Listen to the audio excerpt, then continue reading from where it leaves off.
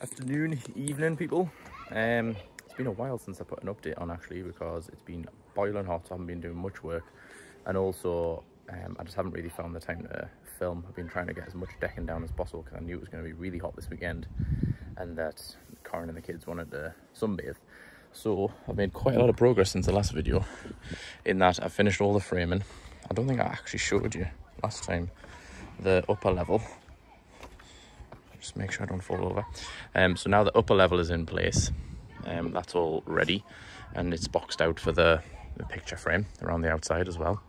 Um, and then all the posts are in for that. I did around the jacuzzi. I think I showed you that. Um, yeah. So then the next thing that I did, I'll just make sure I don't fall over here, is I put a beam along the in, uh, a, a plank along the inside just to get an idea of where it was going to be. And then I continued it along so that I got my first bit of decking. And then I went this way. Every time I hit a post I just skipped two boards. Left enough space to put two new boards in so I'll just do them later. Um, and then I continued along to there so that we had enough space for one bed there one bed there and one bed here. And I've been basically continuing that um, today. So what we're doing is I'm just leaving it to overhang for now.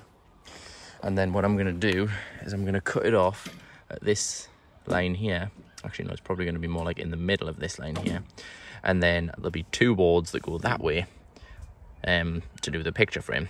So you basically just snap a chalk line and then use the circular saw on the track which I've got to take a perfectly straight line along later. Um, these ones I just need to cut boards that are like that length to go in there. Now because the deck is so long what I've done is I've split it into three sections. So I've got the first section and then I've got a board that goes that way like a divider board.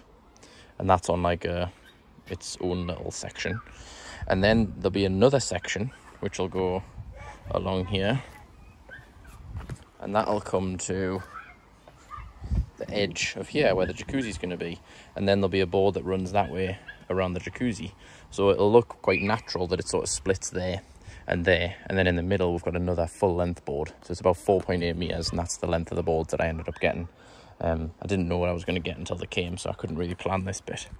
Um, so tomorrow I'm just going to continue in the evening only because it's too hot during the days.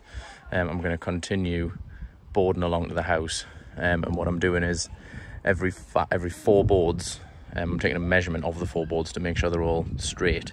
And then also I'm getting Karen to measure up to the house. Um, and as we stand at the moment, this side is 130, 236 centimeters from the house.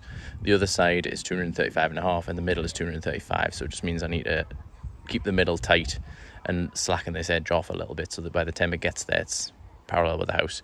And the reason that is, is because the house is not actually parallel with the pool. So I had to um, make some adjustments basically. So hopefully in the next few days I'll get that bit finished and then I'll start to do this bit which will be a bit easier because there's not going to be any cuts. It'll just be like putting the boards down straight. I'm going to try and make sure that they all line up with the boards that go on the other side. So that'll look nice I think. Um, oh, I've just realised I've left a little green thing on the end of this one.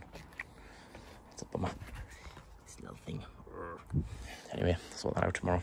Um, and then once I've done this section then I can do the upper bit.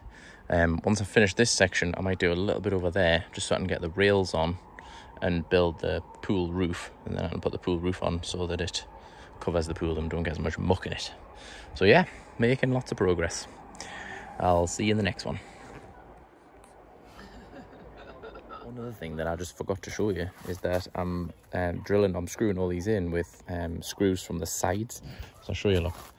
So the screw hole goes like in the side, like that, so that when you get to the next board, you can barely see the screws. So if you look down, there's basically no screws showing on the surface. So it means that when you get out of the pool, there's no like little rough edges where the screws have gone in. There's like splinters where you can get a splinter in your foot. So just a little extra thing to show you. Also means it takes twice as long to put all the screws in, but hope you're worth it.